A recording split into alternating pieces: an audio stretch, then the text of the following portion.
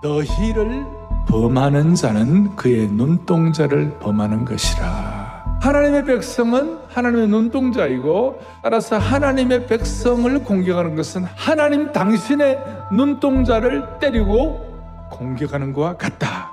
내가 하나님께 이렇게 귀한 존재인가? 계속 묵상하고 하루에 열 번, 씩 계속 반복할 때 하나님이 여러분들에게 거룩한 품격을 회복시켜 주실 것이. 내가 손을 그들을 위해 움직인 자, 그들이 자기를 섬기던 자들에게 노략거리가 되리라. 하나님께서 대신 원수 갚아주시는 것이 어떤 상황 가운데서도 염려 대신에 담대할 수가 있는 것입니다. 그 담대함과 당당함 때문에 10절 뒤에 시온에 따라 노래하고 기뻐하라 그랬어요. 어떤 경우에도 우리를 지키는 사랑의 눈동자가 있음을 믿어야 합니다. 그 사랑의 눈동자와 늘 마주치시기를 바랍니다. 그 사랑의 눈동자에 귀가 트인 사람에게는 우주에 충만한 사랑의 교향곡이 들리게 되는 겁니다. 그 사랑의 눈동자에 마음이 열린 사람에게는 하나님이 우리 인생의 역사의 주권자 되심을 깊이 깨닫는 축복을 받게 되는 것입니다. 이럴 때 그 사람의 인, 격과 깊이가 폭발하는 스테레오타입의 그 영광스러운 깊이 있는 인생, 은혜의 파도를 경험하는 삶을 하나님 허락해 주시는 것입니다.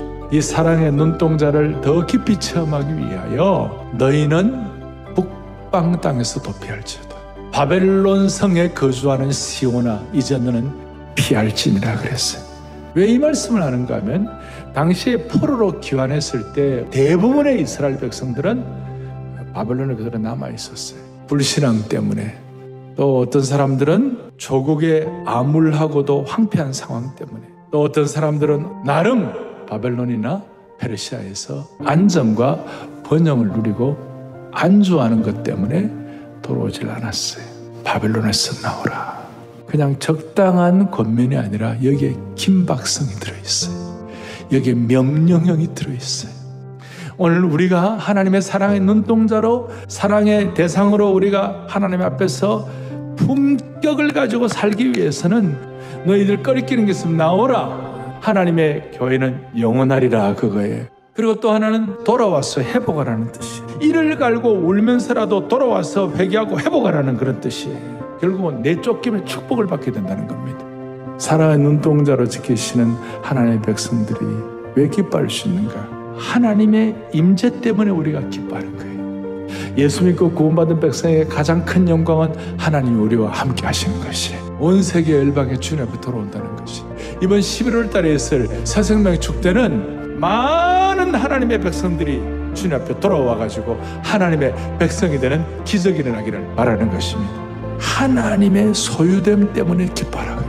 여러분이 하나님의 기업인 것이에요. 우리가 하나님의 기업이라고 생각할 때 기쁨이 나오는 거예요. 찬양이 나오는 것이에요. 하나님의 기업이 될 때 우리가 속한 각 영역들이 거룩한 땅이 되는 줄 믿습니다. 여러분 여호와께서 일어나시면 권능이 선포되는 것입니다. 하나님께서 적극적으로 개입하시고 살피시고 신의 책임을 지시고 인도하신다는 뜻인 것이 우리가 공격당할 때 주님의 눈동자가 아파서 벌떡 일어나시는 것이 그리고 우리가 기뻐 찬양할 때 하나님은 벌떡 일어나시는 역사를 주관하시는 능력의 하나님이십니다. 정상화를 지키기 위한 사랑의 눈동자의 대상이 되기를 원하는 것입니다. 내가 속한 곳에 문제가 보이고 뭐 거기 오염되고 그러면 경고의 종세를 바라게 혹 은 진리가 회복되어 거룩한 처소가 되어 그렇게 할 때는 축하의 종소리, 기쁨의 종소리가 되겠처럼 사랑의 눈동자가 되면 시대를 향한 사명의 종지기가 될 수가 있는 것입니다. 할렐루야.